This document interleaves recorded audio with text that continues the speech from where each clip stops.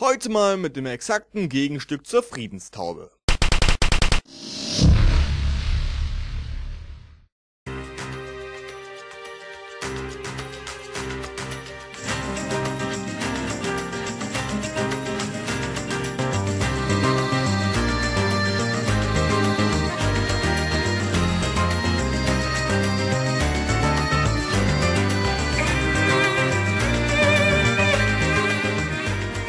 Und damit herzlich willkommen zur sechsten Ausgabe meines Pokémon Competitive Guides.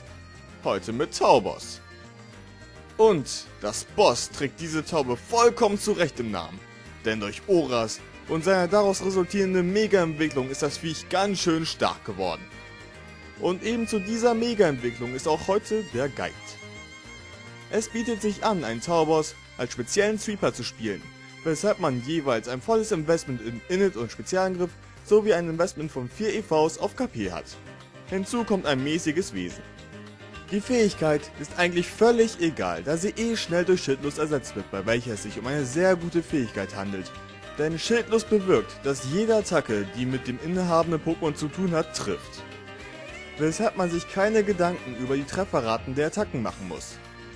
Der dazu passende Movepool besteht aus Orkan, Hitzewelle, Hyperstrahl und Kehrtwende.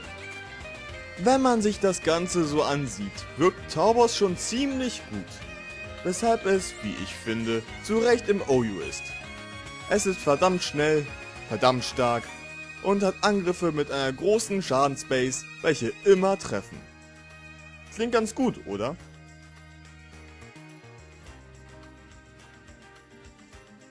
So, das war's auch schon wieder für heute. Jetzt habe ich hier noch zwei weitere Videos, die du dir ansehen kannst. Links kommst du zum vorherigen Guide über Sherlock und rechts zu meinem Video vom letzten Sonntag.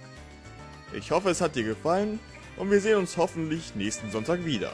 Bis dahin, ciao!